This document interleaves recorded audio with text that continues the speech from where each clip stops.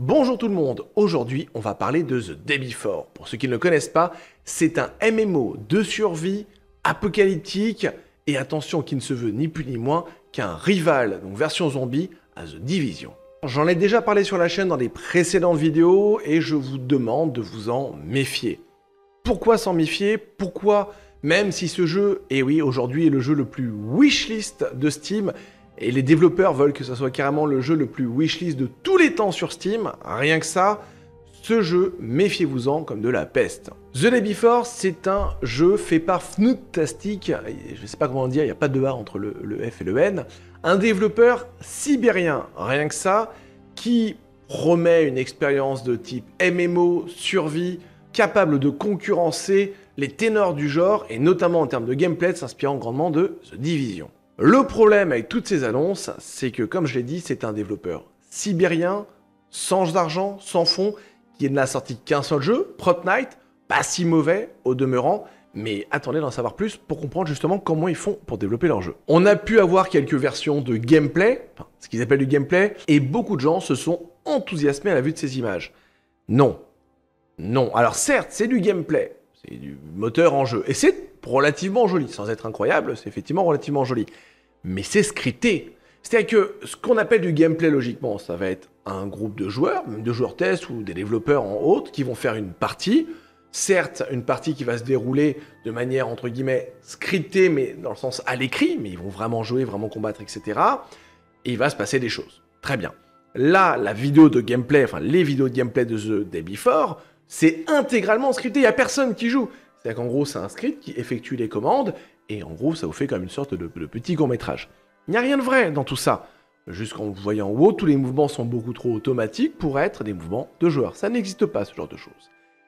Et quand ensuite, je me suis un peu renseigné sur The Day Before, et notamment donc sur son développeur, Fnotastic, on a pu voir que c'était donc un lugubre développeur sibérien dont on n'a jamais entendu parler, avec un site qui a un petit peu évolué, ceci dit récemment, mais qui ressemblait il y a encore quelques mois à un projet étudiant avec des images de galets, de jolis paysages, même pas sibériens, hein, pris au hasard sur le net, c'est pas une blague.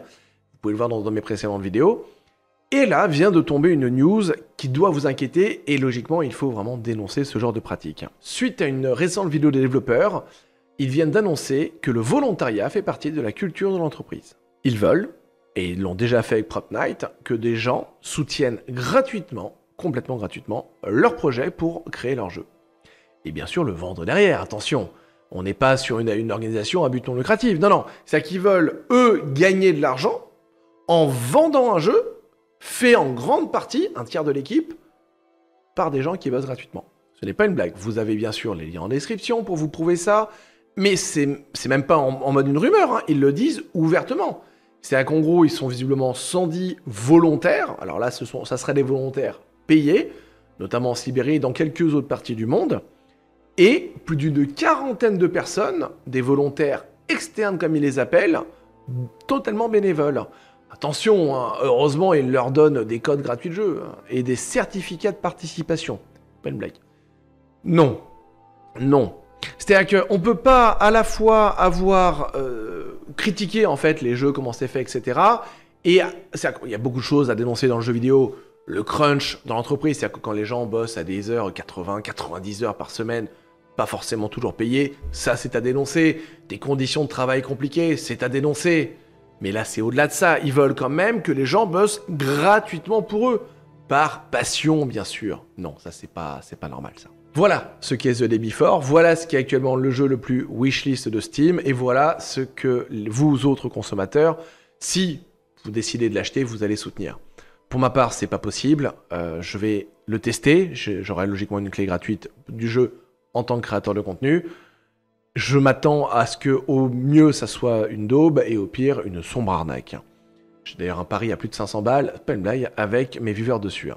Là où je veux en venir, c'est que ce genre de jeu, si un jour il arrive sur Steam, parce que je rappelle, il a quand même été reporté d'un an, pas la première fois celui que ça arrive, euh, méfiez-vous-en. Comme de la peste, ne leur donnez pas d'argent s'il y a des précommandes. Attendez, si vous voulez vraiment y jouer, si vous êtes hypé, si vous ne me croyez pas, Ok, pas de souci. Je vous en conjure, attendez de voir ce qu'il en sera du jeu. Pas des vidéos de gameplay complètement cryptées. Non, non. De voir des personnes y jouer en qui vous avez confiance. Soit les créateurs de contenu, de la presse, ou peu importe, des, créateurs en qui vous avez confiance, qui donneront un avis objectif, pas des OPSP de la mort, non, non, un avis objectif sur le produit. Merci de m'avoir écouté et à très bientôt pour une nouvelle vidéo.